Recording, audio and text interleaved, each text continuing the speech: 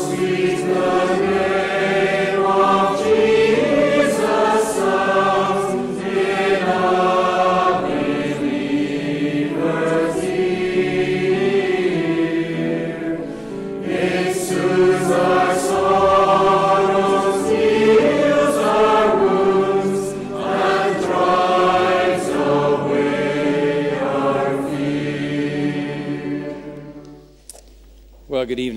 and welcome to our service here tonight at the Tron. It's good to see you, and uh, we hope that you'll be able to stay behind afterwards and enjoy a time of fellowship together. There'll be tea and coffee and soft drinks and so on downstairs. And if you don't have to rush away, it's a great chance to encourage one another in the Lord. We're going to begin this evening by singing. You'll find the hymn at number 823 in our blue hymn books here. A hymn of approach to God and reverence and confession. We're going to be reading tonight in the prophet Haggai, which uh, is a challenging message indeed. And so these words begin our service Almighty Lord, Most High, draw near, whose awesome splendor none can bear. 823.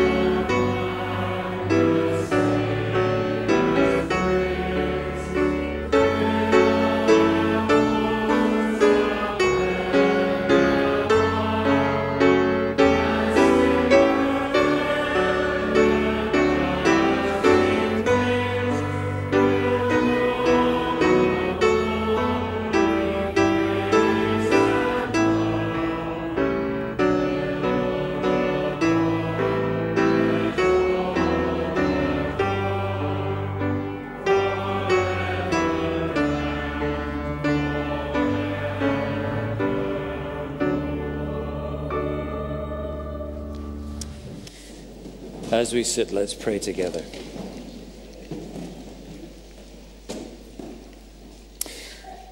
Out of the depths we cry to you, O Lord. O Lord, hear our voices. Let your ears be attentive to the voice of our pleas for mercy. Heavenly Father, we thank you that though you are the God of awesome splendor, which none can bear, you are the God of great and infinite mercy. And you do hear the prayer of sinners, that those who reach out and take hold upon your grace, you love to respond in mercy, in forgiveness, and in wonderful restoration.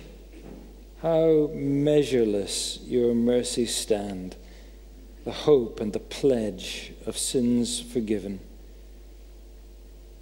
If, Lord, you should mark our iniquities, who could stand? But with you there is forgiveness, that you may be feared. And we bow before you, O Lord, rejoicing in your mercy, but trembling at your righteousness. Help us, we pray, to tremble rightly before you, loving your forgiving grace, but never ever taking you for granted, never presuming upon you, but in receiving your pardon, so being touched and changed, that we might serve you as we ought, that we might love you with all of our hearts and all of our souls. We wait for the Lord. Our souls wait, and in His word we hope. Our soul waits for the Lord more than watchmen for the morning, more than watchmen for the morning. Lord, we're here because we long for you. We need you. We know that without you we are nothing. Without you, we have no hope, no future only the dread of perishing under your wrath. But you have called us. You have sent forth your light and your truth. You have opened the way to the kingdom of heaven through the grace and mercy made known in the gospel of your Son. And so we come longing, calling for you, waiting for you, and seeking your blessing. O Israel, hope in the Lord, for with the Lord there is steadfast love, and with him there is plentiful redemption, and he will redeem his people from all their iniquities. Lord, this is our gospel, this is our song, and in this hope we trust. And so, as we gather this evening, we pray that you would draw near to us. Make yourself known to us in your holiness, in your majesty and might, and in your grace and mercy and forgiveness and restoring power. Take us and mold us and shape us, we pray, according to your purposes of grace. And send us on our way to live the better for the Lord Jesus Christ to honor him and love him and to make his name known. For this we pray in the name of Jesus, our Savior and Lord. Amen. One or two uh, notices this evening just to share with you. Uh, if you are uh, visiting with us, then uh, you can find out more about the church uh, from the various cards and leaflets at the door. But uh, most of our normal activities are in abeyance for the summer. However, there are some things continuing as normal. And on Wednesday evening at 7:30, we'll gather together as a congregation uh, to pray. And again, as I said this morning, with numbers of us on holiday, please do, if you're still here, do make the effort to come. Join your voice with ours as we pray together for Christ's work throughout the world with our many prayer partners, uh, as well as throughout this nation and of course uh, in our own city and our own work. So 7:30 on Wednesday evening uh, here in the church.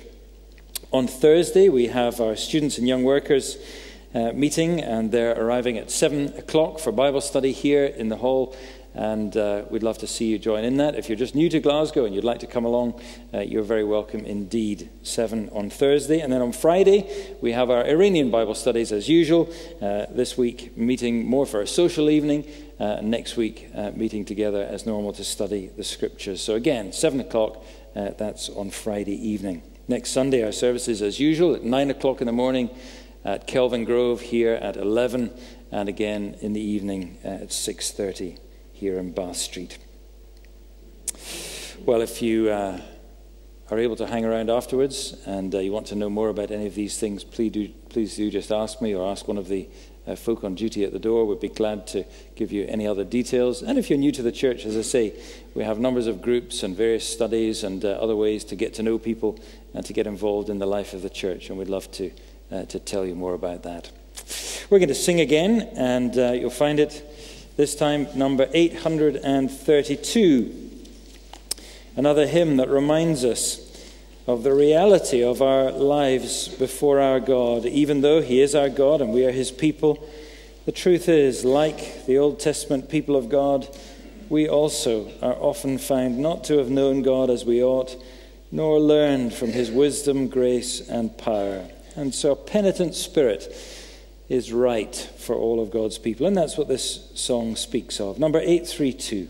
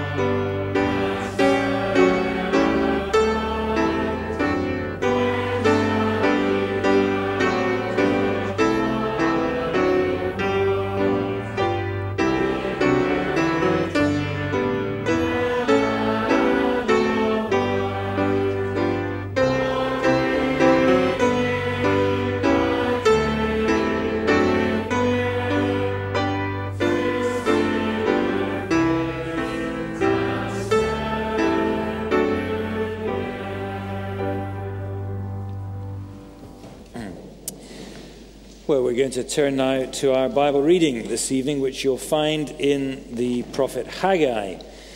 Now, if you have a church uh, visitor's Bibles, I think that's page 791. If you haven't, it's one of those uh, little prophets that's hard to find near the end of the Old Testament, uh, before Zechariah and Malachi, just right at the end there of the Old Testament. One of those uh, we call the minor prophets, only minor because their books are short in comparison to Isaiah and these others. Not because their message is unimportant, and indeed, the message of Haggai and Zechariah is extremely important. We've recently finished a series in the book of Ezra, and if you remember, uh, Ezra uh, is all about the return of uh, some of the people from exile to the land uh, to begin rebuilding. And the building in an early stage was stopped and didn't start again until the influence of two prophets, Haggai and Zechariah. And so it's very fitting that we're going to spend the next couple of Sunday evenings with Terry preaching us through this uh, very, very important message. So we're going to read together tonight Haggai chapter 1. And you'll see it begins in the second year of Darius the king, in the sixth month, on the first day of the month. And the word of the Lord came by the hand of Haggai the prophet to Zerubbabel, the son of Shealtiel, governor of Judah, and to Joshua, the son of Jehozadak, the high priest. Thus says the Lord of hosts These people say the time has not yet come to rebuild the house of the Lord. Then the word of the Lord came by the hand of Haggai the prophet. It is, uh, is it a time for you yourselves to dwell in your paneled houses? While this house lies in ruins. Now, therefore, says the Lord of hosts, consider your ways. You have sown much and harvested little. You eat, but you never have enough. You drink, but you never have your fill. You clothe yourselves, but no one is warm. And he who earns wages does so to put them in a bag with holes. Thus says the Lord of hosts Consider your ways. Go up to the hills and bring wood and build the house, that I may take pleasure in it, that I may be glorified, says the Lord. You looked for much, and behold, it came to little. And when you brought it home, I blew it away. Why, declares the Lord of hosts? Because of my house that lies in ruins, while each of you busies himself with his own house. Therefore, the heavens above you have withheld the dew and the earth has withheld its produce. And I have called for a drought on the land and on the hills, on the grain, on the new wine, the oil, on what the ground brings forth, on man and beast, and on all their labors.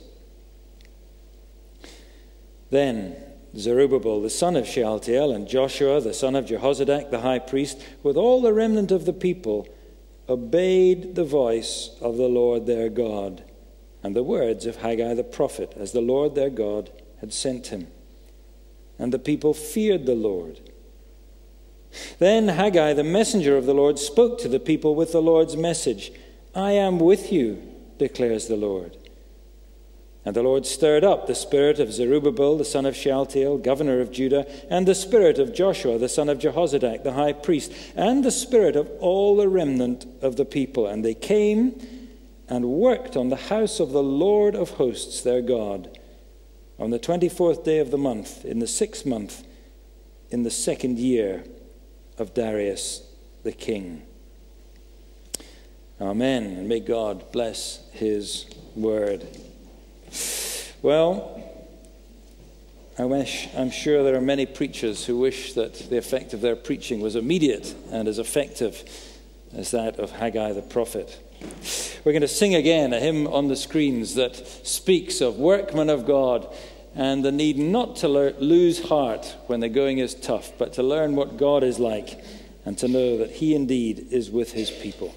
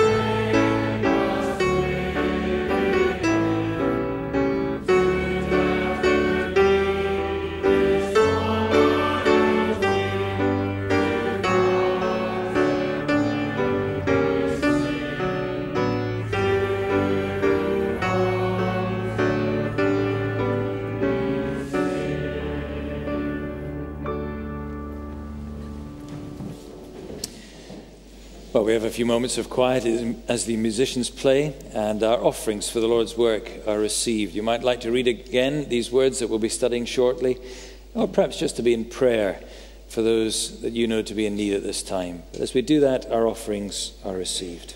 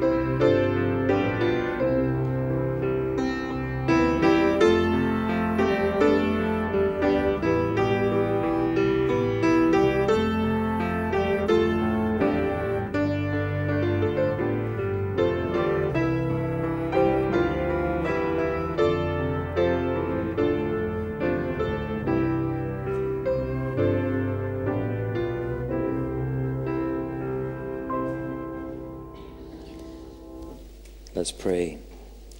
Then the word of the Lord came, and the people obeyed the voice of the Lord their God. And the Lord spoke and said, I am with you. And the Lord Jesus said, Not everyone who says to me, Lord, Lord, will enter the kingdom of heaven, but the one who does the will of my Father in heaven. Everyone who hears these words of mine and does them will be like a wise man who built his house on the rock. And the rain fell, and the floods came, and the winds blew and beat on that house. But it did not fall because it had been founded on the rock. Lord, may we be those who not only hear your words tonight, but welcome them into our hearts make them a part of our lives, and live so as to obey, that we may build our house upon the rock, the only rock that will withstand the great flood of the coming day when all this earth and all its people will be judged in utter righteousness by the risen and reigning King, our Lord Jesus Christ. So humble us, we pray. And may we come before you in reverence and in awe to hear your word and to do it. For we ask it for the glory of Christ and for the blessing of us, your people. Amen. We continue to pray in the words of the song. Now, in reverence and awe, we gather round your word.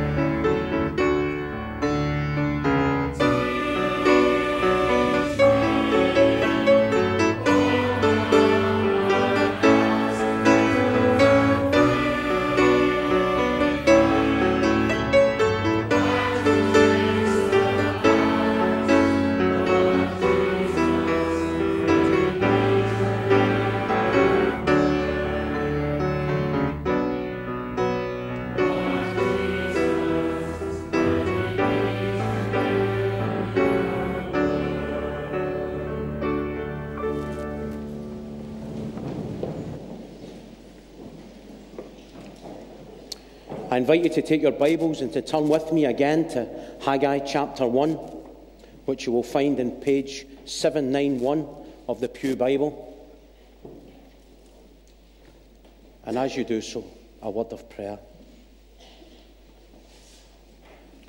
Lord, what we know not, teach us. What we have not, give us. And what we are not, we pray that you would make us. In Jesus' name, amen. Most of you know that I used to work with Hugh McKenna um, at a charity called the Open Door Trust. Sadly, it's a work that no longer exists. But the trust reached out to the homeless, those in prison, and to those struggling with alcohol and drug addiction. And one of the services which we provided was a weekly lunch club, where, where up to 100 folks were served with a lovely two course dinner. And some of you here cooked those dinners and served those dinners. Doreen and Irene's curry was famous among the poor of Glasgow long before it had ever touched the palate of a released award student. But there was a man who used to come to the lunch club. His name was Robert, and he was a poor soul, and he was alcoholic. And on occasion, he would ask to speak to the boss, that is Hugh. He wanted to speak to Hugh. And sometimes the volunteers would say, Well, there's Terry. Do you not want to speak to Terry? And he'd say, No, um, I need to speak to the boss. So we would get Hugh to come and speak to Robert. And on every occasion, Robert's opening line would be this This isn't about money. Now, remember, this isn't about money. And Hugh would say, OK, Robert, it's not about money. And then Robert would tell Hugh a 10 to 15 minute story. And the story would always end with Robert asking Hugh for a couple of pounds. Maybe one pound fifty or two quid or something like that. And Hugh, being Hugh, more often than not, would give it to him. It's not about money, but inevitably, it was always about money. And as we come to Haggai chapter 1 and to the verses that Willie has read for us, we can see that it's about rebuilding work. And you might be, might be sitting saying to yourself, oh, I can see where we're going with this. We've hardly finished buying chairs for Kelvingrove. New Terry's going to whack us with a, a sermon about giving d- deep and giving sacrificially to the work of the Lord. Well, chapter 1 is about rebuilding work which I suppose would cost money. But you Scottish Presbyterians will be pleased to hear that this chapter is not about money. It's the place that God has in our affections. It's about the place that God has in our affections. God isn't after your money. God isn't interested in your money. And before the treasurers in the church get ready to shoot me, let me clarify what I mean.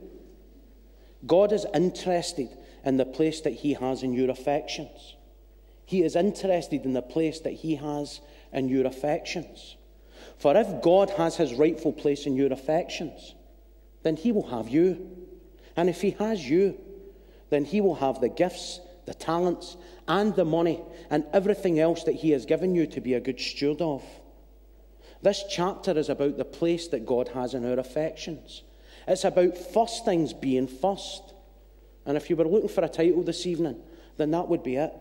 First things first. I'd like to take the chapter under two headings. Firstly, verses 1 to 11. God's word challenges our priorities. God's word challenges our priorities. And secondly, in verse 12 to the end of the chapter, God's word changes and comforts his people. God's word changes and comforts his people. Well, firstly, then, verses 1 to 11, God's word challenges our priorities. In the second year of Darius the king, verse 1, in the sixth month, on the first day of the month. Well, this gives us an insight into the state of God's people. They are under the reign of a foreign king and a foreign power, Darius, the king of Persia. They had been taken into exile under the reign of Nebuchadnezzar, the Babylonian king, in the year 586 BC. And there are those who are able to correlate the calendar, and they can tell us that verse 1 is precisely August the 29th, 520 BC. Wally, in his introduction, had said that the exiles had returned to the land. Well, they did return in 538 BC, some 18 years earlier, under the reign of King Cyrus, who the prophet Isaiah prophesied about. And if you would like the best background reading to this book, I would suggest some reading of the book that we have been in recently with Edward, the book of Ezra, chapters 1 to 4, maybe even to chapter 5, verse 2. And here's what it says in Ezra chapter 1, verse 2. Thus says King Cyrus, king of Persia, The Lord, the God of heaven, has given me all the kingdoms of the earth, and he has charged me to build him a house at Jerusalem, which is in Judah.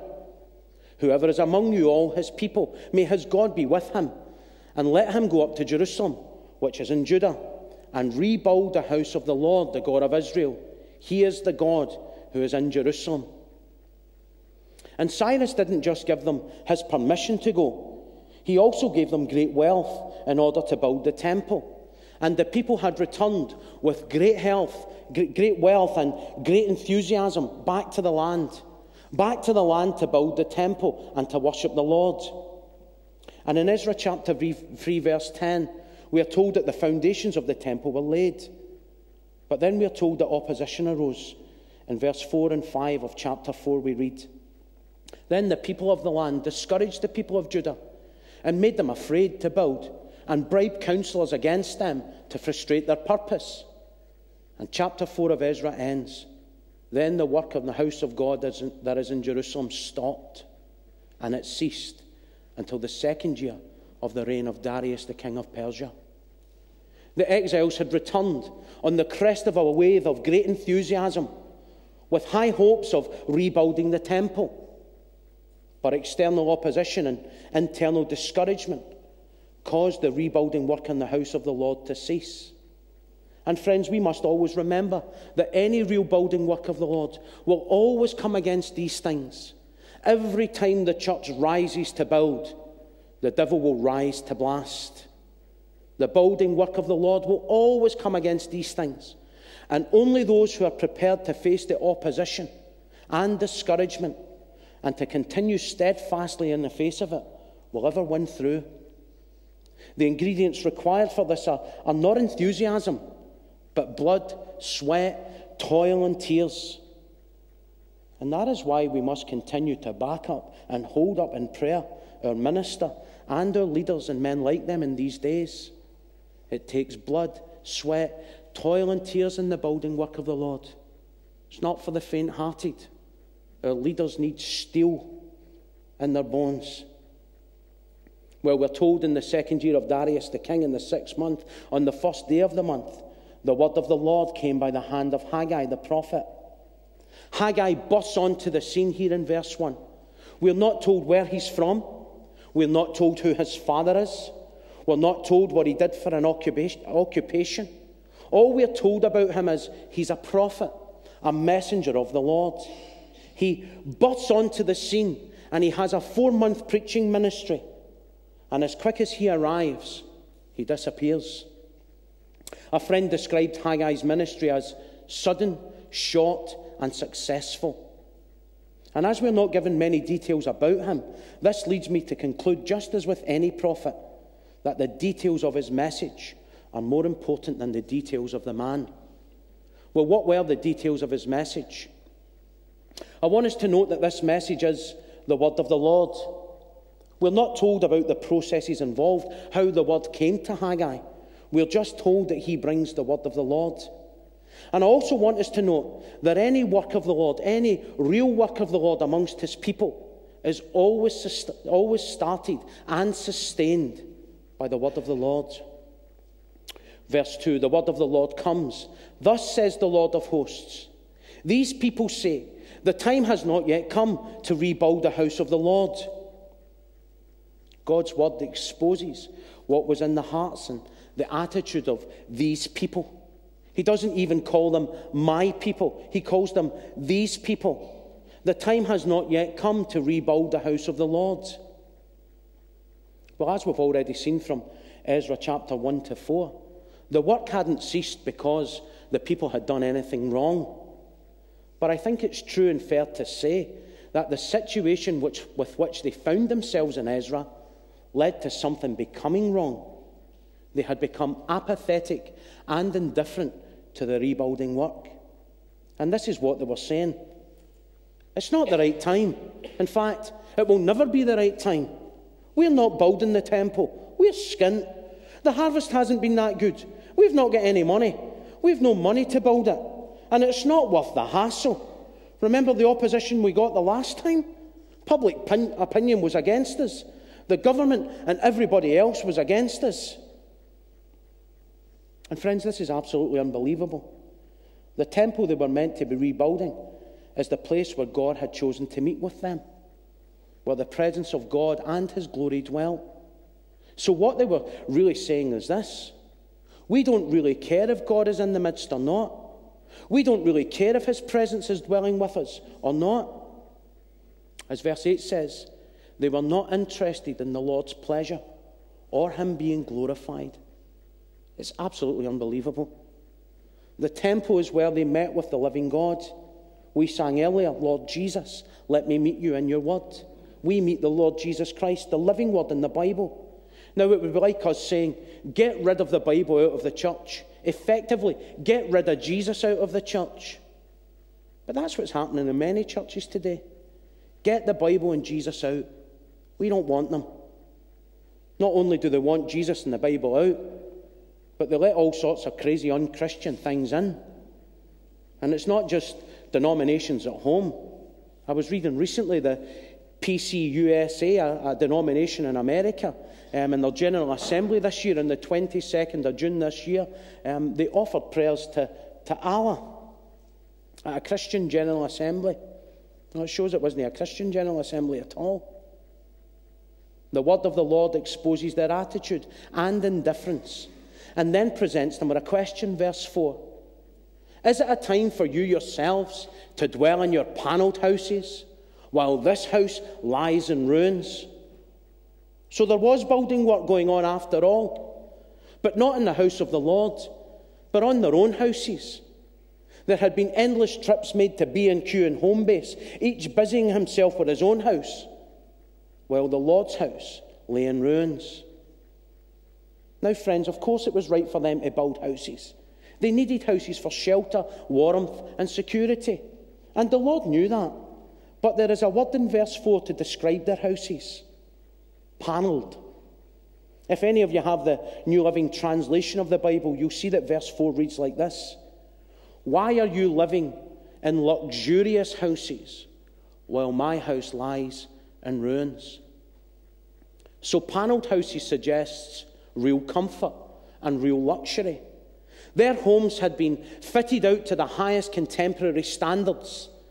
They lived in the lap of luxury, while the Lord's house was a building site of ruins. They were the complete opposite of King David, who said in 2 Samuel 7 and 2, How can I dwell in a house of luxury while the Lord dwells in a tent?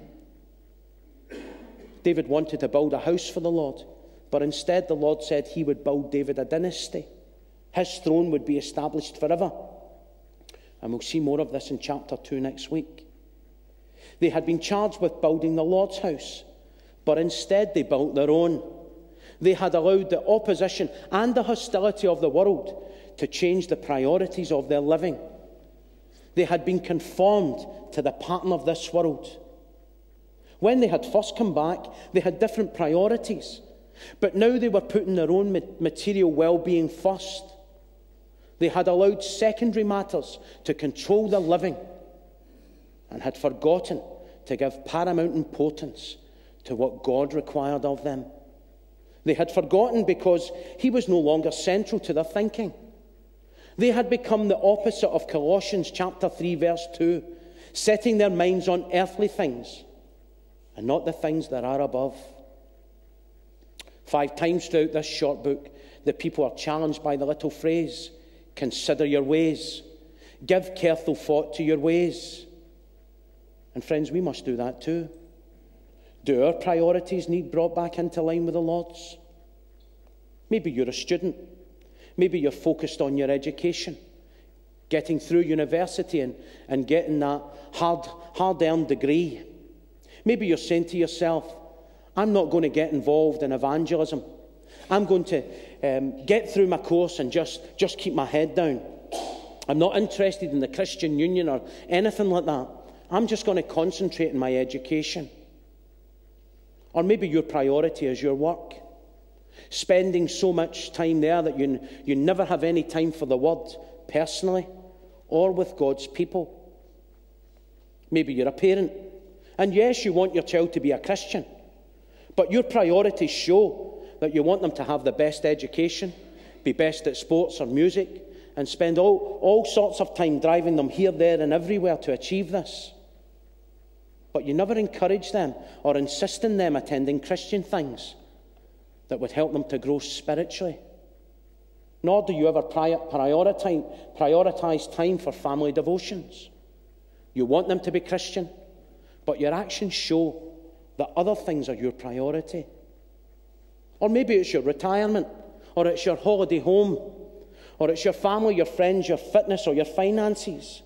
Maybe these things have become the priority in your life and not the faith.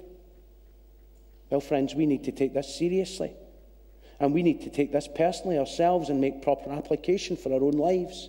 You need to do this, and I certainly need to do this. Not saying that these things are not important, they are. But these things can never take the place reserved in our affections for the Lord and His glory alone. God saw through the excuses in Haggai's day, and He sees through them today as well. First things need to be first. That's the first question in the shorter catechism, isn't it? What is the chief end of man? The answer to glorify God and to enjoy Him forever. Well, God's word reveals they've not been living this way. He says to them in verse 5 and 7 Consider your ways, set your heart in your ways. How is it going for you? Well, this is how it's been going, verse 6. You have sown much and harvested little. You eat, but you never have enough. You drink, but you never have your fill. You clothe yourselves, but no one is warm. And he who earns wages does so to put them in a bag with holes. And that's me not um, describing current, current pensions. I suppose this, sum, this verse sums up our modern day pretty well. Futility, satis- no satisfaction, all futility. Verse 9 You looked for much, and behold, it came to little. And when you brought it home, I blew it away. Therefore, the heavens above have withheld the dew, and the earth has withheld its produce. And I have called for a drought on the land and the hills, on the grain, the new wine, the oil, on what the ground brings forth, on man and beast, and in all their labours. Yes, there was a drought, a famine, but at least God is still speaking. There wasn't a famine of the word as there was in Amos' day. The Lord interprets their situation, which is linked to their spiritual condition. Why? Verse 9 Because of my house that lies in ruins. And God was in keeping with his word. He had promised them in Deuteronomy if they honoured him and obeyed him, he would bless them. But if they were faithless, he would curse them. Friends, their priorities were all wrong. They didn't have first things first. They were not seeking first the kingdom. Maybe our politicians would do well to read this chapter. Could it be conceivable that our nation is in such a mess due to moral and spiritual factors? I think so. But, friends, maybe you're sitting and saying, well, my life's okay, so my priorities must be okay. Well, sometimes our priorities are out of order and we suffer no financial or other type of hardship. But we should never presume upon God's mercy. We should turn to Him and reorder our priorities now before He needs to use crisis to get through to us. The Lord's Word challenges their priorities. Well, secondly, verses 12 to 15, the Lord's Word changes and comforts His people the Lord's word changes and comforts his people. Well, how would the people respond to such a rebuking word from the Lord? We can see that the response was immediate and cut right to the heart of the people. Verse 12. Then Zerubbabel, son of Shealtiel, and Joshua, the son of Jehozadak, the high priest, with all the remnant of the people, obeyed the, obeyed the voice of the Lord their God and the words of Haggai the prophet, as the Lord their God had sent him and the people feared the Lord. What happened? Well, very simply, God's word changed them. God's word changes people. Picture just for a moment the prophet Jeremiah or the prophet Isaiah, and they're reading through Haggai, and they both get to verse 12, and he reads, the people obeyed the voice of the Lord their God. I'm sure both of them would say, Hold on a minute, that can't be right. You need to preach the word for years for, before people will ever begin to listen to the Lord. I'm told one of the hardest things as a parent is to get your children to clean their room. Suppose I've got that to look forward to with James. But can you imagine saying to your child, I want you to come off that computer right now and go and tidy your room? And they say, No bother, Dad. And away they go and do it immediately. It would be absolutely shocking, wouldn't it? Why don't some of you children surprise your parents like that this week? But that's what happened here. God's word has challenged them, and God's word has changed them. And friends, that's why any real gospel work needs to be a teaching ministry where God's word is taught. For when God's word is taught, the Spirit of God takes the word of God to do the work of God. God's word changes people. You know this in your own life. I know it in mine. God's word has challenged us and changed us. I once heard someone say that one of the most dangerous activities that anyone could be employed in was to read the Bible. Because the Bible is not a book that you read, the Bible is a book that reads you and it challenges you and it changes you. So, friends, let's continue to persevere with God's word, even in the most impossible situations, even with the most unlikely people. God's word changes people. The response was instant, the response was humble, and the response was united.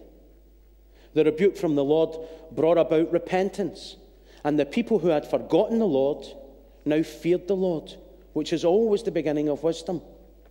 And friends, I think it's absolutely amazing the grace of God, the grace of God towards half hearted people, people who've been indifferent to Him, People who have let him down, people like you and me, are allowed to return and receive his mercy.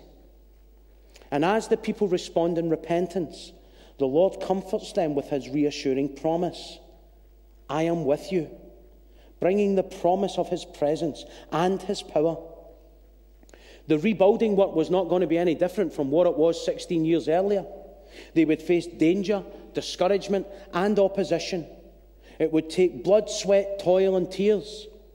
So it was important that they were united under the Lord, and his promise comforted them that the Lord was there to encourage them and to strengthen them for the work.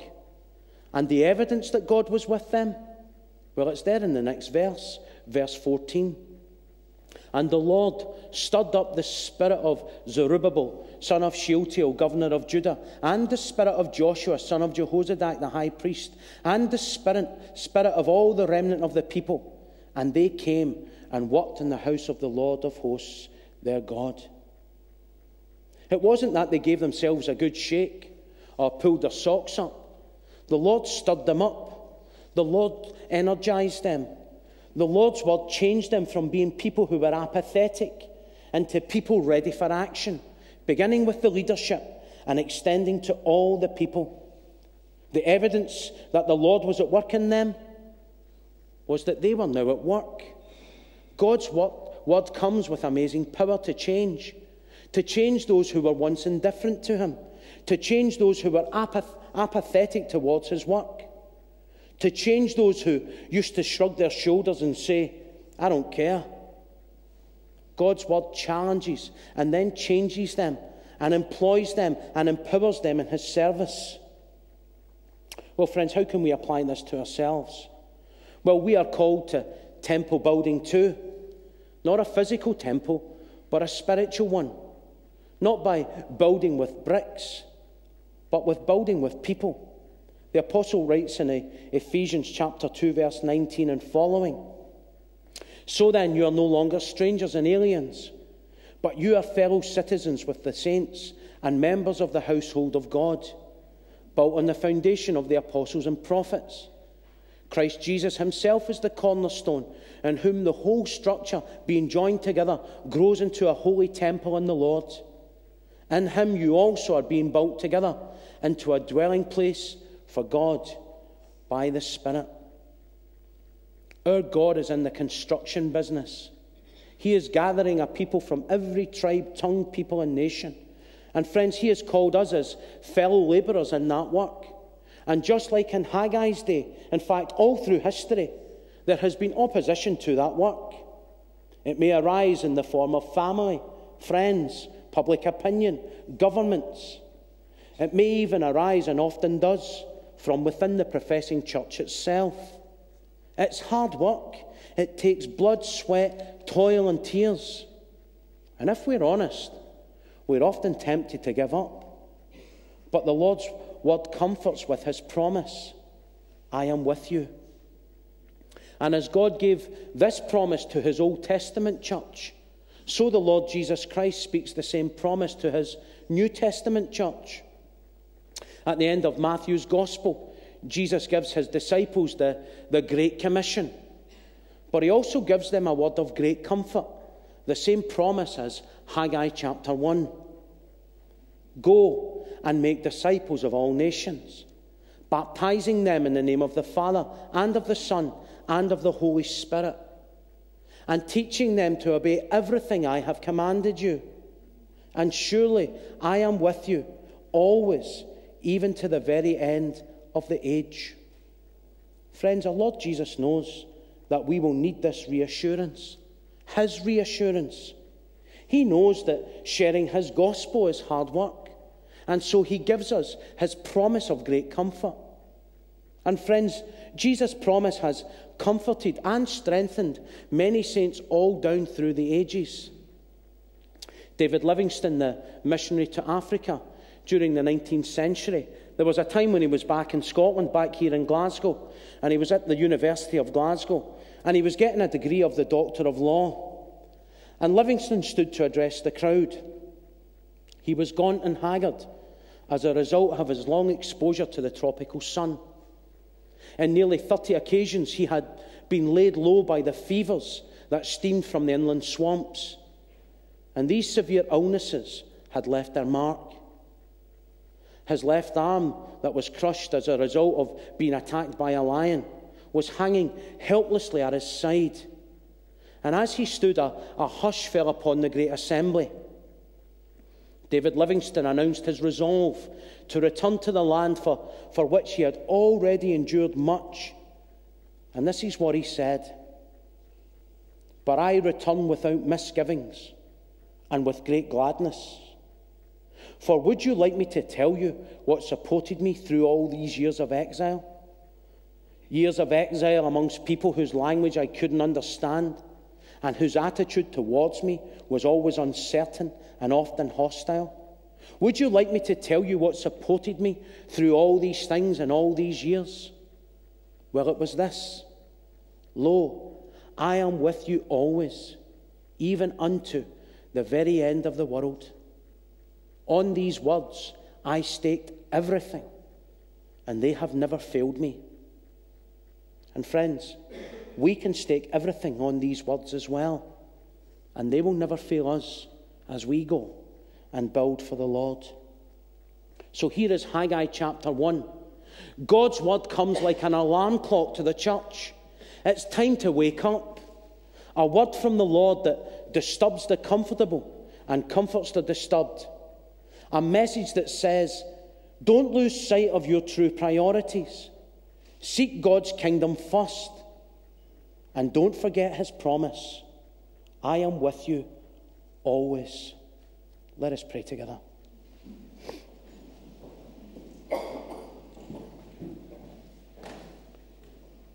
Father, we come this evening as a congregation of your people, and we can so identify with the apathy of your people in Haggai's day. Father, we pray that you would take this word and you would challenge your priorities as you did your people of old. And Father, we pray that as your word challenges us, you might conform us to your priorities. Grant us repentance and obedience. And Father, as we go to build your church, may we remember your great promise that you are with us even to the very end of the age. In Jesus' name, amen. Well, to close, friends, we will sing the hymn on the screen. Hear the call of the kingdom. Lift your eyes to the King.